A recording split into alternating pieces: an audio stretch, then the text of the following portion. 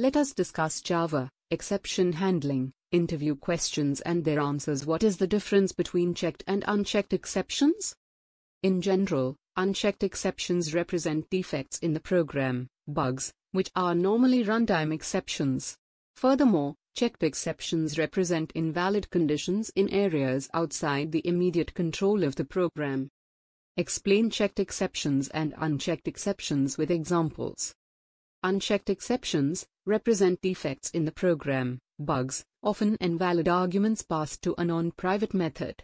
To quote from the Java programming language, by Gosling, Arnold, and Holmes, unchecked runtime exceptions represent conditions that, generally speaking, reflect errors in your program's logic and cannot be reasonably recovered from at runtime. These are subclasses of runtime exception, and are usually implemented using illegal argument exception, null pointer exception, or illegal state exception. This method is not obliged to establish a policy for the unchecked exceptions thrown by its implementation, and they almost always do not do so. Checked exceptions represent invalid conditions in areas outside the immediate control of the program, invalid user input, database problems, network outages, absent files, these are subclasses of exception. This method is obliged to establish a policy for all checked exceptions thrown by its implementation, either pass the checked exception further up the stack, or handle it somehow. It is somewhat confusing, but note as well that runtime exception, unchecked, is itself a subclass of exception, checked. Example 1 Model objects are the data-centric classes used to represent items in a particular domain. Model object constructors need to handle both arbitrary user input and input from underlying database result sets. Model object constructors should throw checked exceptions. The program may have no direct control over user input. This is particularly true in web applications. It seems safest for a model object to treat user input as having arbitrary, unvalidated content. It is not safe for an application to make any assumptions about the state of the database. The database is an independent entity, and its data may be changed by various means, outside of any particular application. For example, data load tools are commonly used to create an initial state for a new database. Such data can easily violate the constraints built into a calling application. Thus, the safest assumption is to treat database result sets as having arbitrary, unvalidated content. Example 2 Args is a convenient utility class. It performs common validations on method arguments. If a validation fails, then it throws an unchecked exception. It is suitable for checking the internal consistency of program, but not for checking arbitrary user input. What are the differences between checked and unchecked exceptions? A checked exception is any subclass of exception, or exception itself, excluding class runtime exception and its subclasses.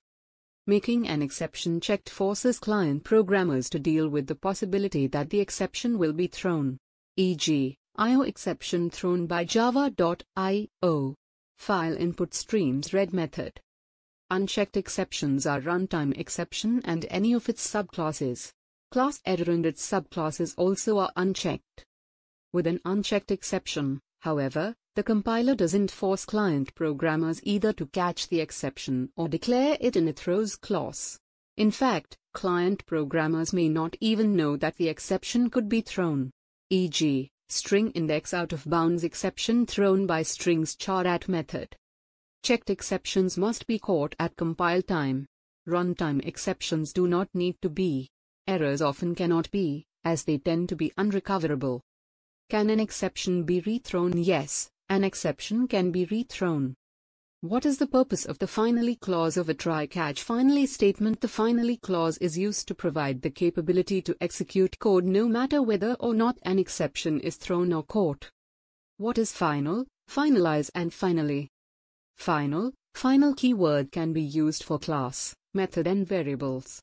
A final class cannot be subclassed and it prevents other programmers from subclassing a secure class to invoke insecure methods. A final method can't be overridden. A final variable can't change from its initialized value. Finalize. Finalize method is used just before an object is destroyed and can be called just prior to garbage collection. Finally, Finally, a keyword used in exception handling creates a block of code that will be executed after a try slash catch block has completed and before the code following the try slash catch block. The finally block will execute whether or not an exception is thrown. For example, if a method opens a file upon exit, then you will not want the code that closes the file to be bypassed by the exception handling mechanism. This finally keyword is designed to address this contingency. What is out of memory error in Java? How to deal with java.lang. out of memory error error. This error is thrown when the Java virtual machine cannot allocate an object because it is out of memory, and no more memory could be made available by the garbage collector. Note, it's an error, extends java.lang.error, not exception. Two important types of out-of-memory error are often encountered. Lang. out of memory error, Java heap space. The quick solution is to add these flags to JVM command line when Java runtime is started. XMS 1024M XMX 1024M. Lang. out of memory error, permgen space. The solution is to add these flags to JVM command line when Java runtime is started. 20 colon plus CMS class unloading enabled. 20 colon plus CMS permgen sweeping enabled. Long-term solution Increasing the start slash max heap size or changing garbage collection options may not always be a long-term solution for your out-of-memory error problem. Best approaches to understand the memory needs of your program and ensure it uses memory wisely and does not have leaks. You can use a Java memory profiler to determine what methods in your program are allocating large number of objects and then determine if there is a way to make sure they are no longer referenced or to not allocate them in the first place. Which arithmetic operations can result in the throwing of an arithmetic exception integer, and percent can result in the throwing of an arithmetic exception. What is the use of the finally block? Is finally block in Java guaranteed to be called? When finally block is not called. Finally is the block of code that executes always. The code in finally block will execute even if an exception is occurred. Finally block is not called in following conditions.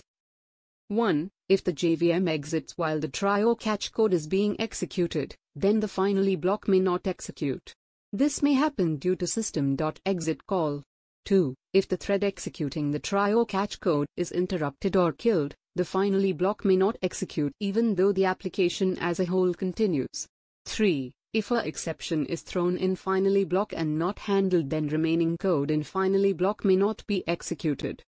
What classes of exceptions may be thrown by a throw statement? A throw statement may throw any expression that may be assigned to the throwable type. Thanks for watching this video. Subscribe to our channel and press bell icon to get notifications for latest video.